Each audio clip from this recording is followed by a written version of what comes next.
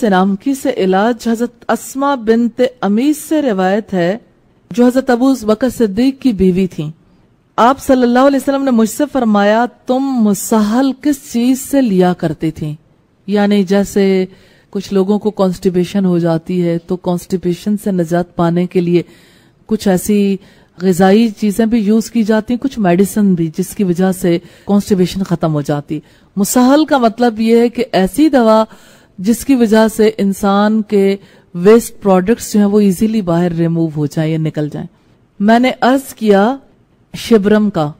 वो एक दाना है, चने के बराबर निहायत गरम और सख्त मुसाहल है। अब सल्लल्लाहु अलैहि वसल्लम ने फरमाया, वो तो गरम आग है। तो इस पर उन्होंने कहा कि मैं फिर इसके बाद सनामकी का मुसाहल लेने लगी। अब सल्लल्लाहु अलैहि वसल्लम ने फरमाया, अगर किसी चीज़ में मौत से शिफा होती तो वो सेना में होती। यानी इसमें इतना ज़्यादा फ़ायदा है। इबन माजा की रिवायत है, तीन हज़ार चार सौ इकसठ नंबर पर तिरमिजी की रिवायत है, दो हज़ार इक्यासी नंबर पर।